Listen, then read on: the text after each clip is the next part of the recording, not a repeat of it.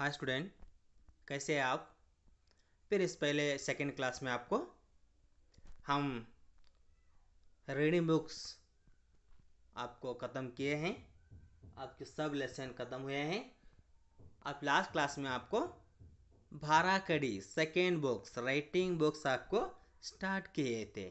उसके बारे में आप उसके मात्रा किसी तरह लगाना है और क, का, की की और बारह कड़ी किसी तरह लिखना है। उसके बारे में देखेंगे आइए ವೆಲ್ಕಮ್ ಟು ಆನ್ಲೈನ್ ಕ್ಲಾಸ್ ಏ ಹೇ ಬಾರ ಕಡಿ ಕಿತಾಬ್ ನೋಡಿ ನಿಮಗೆ ಕೊನೆಯ ಕ್ಲಾಸ್ನಲ್ಲಿ ನಾವು ಆ ಒಂದು ರೀಡಿಂಗ್ ಬುಕ್ಸನ್ನು ರೀಡರ್ ಬುಕ್ಸನ್ನು ಮುಕ್ತಾಯ ಮಾಡಿ ಸೆಕೆಂಡ್ ಬುಕ್ಸ್ ನಿಮಗೆ ಭಾರ ಕಡಿ ಕ ಕ ಕಿ ಕಿ ಯಾವ ರೀತಿ ಬರೀಬೇಕು ನೀವೇ ಒಂದೊಂದು ಪೇಜನ್ನು ಆ ಟೆಕ್ಸ್ಟ್ ಬುಕ್ನಲ್ಲಿ ಸರಿಯಾದ ರೀತಿಯಲ್ಲಿ ಮೊದಲು ಅಕ್ಷರಗಳ ಮೇಲೆ ತಿದ್ದಿ ನಂತರ ಅವೇ ಅಕ್ಷರಗಳನ್ನು ನೀವು ಕೆಳಗಡೆ ಬರಿಬೇಕಾಗಿರುತ್ತದೆ. ನಿಮ್ಮಲ್ಲಿ ನಿಮಗೆ ಟೆಕ್ಸ್ಟ್ ಬುಕ್ನಲ್ಲಿ ಸಹ ಇದೆ. ನಿಮಗೆ ಟೆಕ್ಸ್ಟ್ ಬುಕ್ ಸಹ ಕೊಟ್ಟಿದ್ದಾರೆ ನೀವು ತೆಗೆದುಕೊಂಡಿದ್ದೀರಿ. ನೀವು ಆ ಟೆಕ್ಸ್ಟ್ ಬುಕ್ಕನ್ನು ತೆಗೆದುಕೊಂಡು ಸರಿಯಾಗಿ, ನೀಟಾಗಿ ಆ ಒಂದು ಅಕ್ಷರಗಳನ್ನು ಬರಿದೀರಿ. ನಾನು ಕೊನೆಯ ಕ್ಲಾಸ್ನಲ್ಲಿ ಎರಡು ಅಕ್ಷರನ ಕೊಟ್ಟಿದ್ದೆ. ಖ ಮತ್ತು ದೊಡ್ಡ ಖ, ಎರಡು ಪೇಜನ್ನು ನೀವು ನೀಟಾಗಿ ಬರೀರಿ ಅಂತ ಹೇಳಿದ್ದೆ. ನೀವು ಸಹ ನೀಟಾಗಿ ಬರೆದಿರಿ ಅಂತ ತಿಳ್ಕೊಂಡ್ರೆ ನೀವು ಬರೆದರೆ ದಯವಿಟ್ಟು ನನ್ನ ವಾಟ್ಸಾಪ್ಗೆ ಕಳಿಸಿ. ಯಾಕಂದರೆ ನೀವು ಬರಿತೀರ ಇಲ್ಲ ಅಂತ ನಮಗೆ ಗೊತ್ತಾಗ್ತಾ ಇಲ್ಲ. ನೀವು ಬರೆದರೆ ನಿಮ್ಮ ನೋಟ್ಬುಕ್ಕನ್ನು, ಅದೇ ಪೇಜನ್ನು, ಫೋಟೋವನ್ನು ತೆಗೆದು ನನ್ನ ವಾಟ್ಸಪ್ ನಂಬರ್ಗೆ ಸೆಂಡನ್ನು ಮಾಡಿ. ನಾನು ಚೆಕ್ ಮಾಡ್ತೀನಿ. ಓಕೆ? ಆಯೇ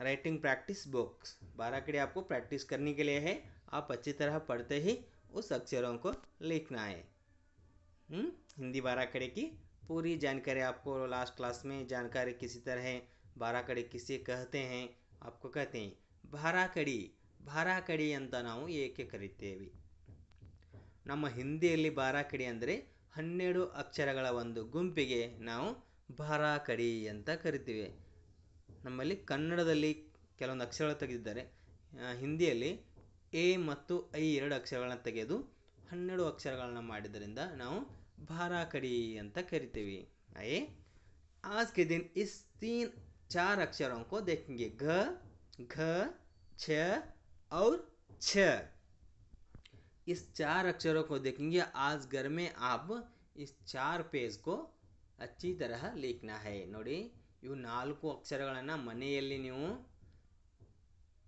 ಟೆಕ್ಸ್ಟ್ ಬುಕ್ನಲ್ಲಿ ಪ್ರತಿಯೊಂದು ಅಕ್ಷರನ ಪ್ರತಿಯೊಂದು ಪೇಜ್ ನೀವು ಬರಿಬೇಕು. ನಿಮ್ಮಲ್ಲಿ ಒಂದು ಅಕ್ಷರಕ್ಕೆ ಒಂದು ಪೇಜ್ ನೀವು ಬರೆಯಲು ಅಲ್ಲಿ ಟೆಕ್ಸ್ಟ್ ಬುಕ್ನಲ್ಲಿ ಅವಕಾಶ ಇದೆ, ಜಾಗ ಇದೆ. ಆದ ಕಾರಣ ನೀವು ಈ ನಾಲ್ಕು ಅಕ್ಷರನ ಸರಿಯಾದ ನೀಟಾಗಿ ನೀವು ನಾಲ್ಕು ಪೇಜನ್ನು ಟೆಕ್ಸ್ಟ್ ಬುಕ್ನಲ್ಲಿ ಬರೀಬೇಕು. ರೈ, ಪ್ರಾ, ರೈಟಿಂಗ್ ಪ್ರಾಕ್ಟೀಸ್ ಬುಕ್ಸ್ ನಿಮ್ಮಲ್ಲಿ ಇದೆ. ಆ ಬುಕ್ಸ್ನಲ್ಲಿ ನೀವು ಸರಿಯಾದ ರೀತಿಯಲ್ಲಿ ಬರೀಬೇಕು. ಬನ್ನಿ ಓದೋಣ ನೋಡೋಣ. फ़र्स्ट वन घ। Gh,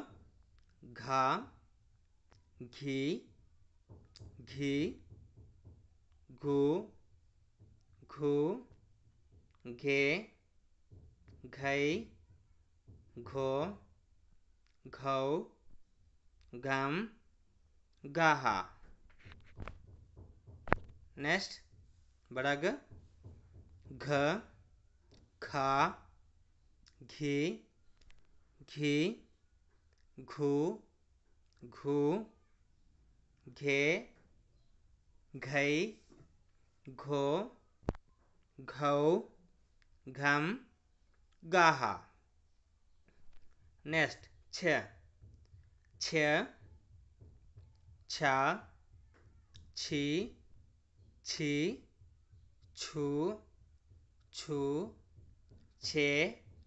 చై ఛో ఛౌ ఛం చః నెక్స్ట్ బడా చ ఛ ఛ ఛీ ఛీ ఛూ ఛూ ఛే చై ఛో ఛౌ ಚಂ ಚಹ ಈ ಒಂದು ನಾಲ್ಕು ಅಕ್ಷರವನ್ನು ನಾಲ್ಕು ಪೇಜನ್ನು ನಿಮ್ಮ ಟೆಕ್ಸ್ಟ್ ಬುಕ್ನಲ್ಲಿ ಮೊದಲು ಎರಡು ಸಾಲು ನಿಮಗೆ ಆ ಒಂದು ಅಕ್ಷರಗಳ ಮೇಲೆ ಗೀಟ್ ಹಾಕಲಿಕ್ಕೆ ಅವಕಾಶನ ಕೊಟ್ಟಿರ್ತಾರೆ. ನೀವು ಸರಿಯಾದ ರೀತಿಯಲ್ಲಿ ಆ ಅಕ್ಷರಗಳ ಮೇಲೆ ಸರಿಯಾದ ರೀತಿಯಲ್ಲಿ ಗೆರಿಯನ್ನು ಎಳೆದು ನೀವು ಕೆಳಗಡೆ ಕೊಟ್ಟಂಥ ಖಾಲಿ ಬಾಕ್ಸ್ನಲ್ಲಿ ನೀವು ಓನಾಗಿ ನೀಟಾಗಿ ಬರಿಬೇಕು.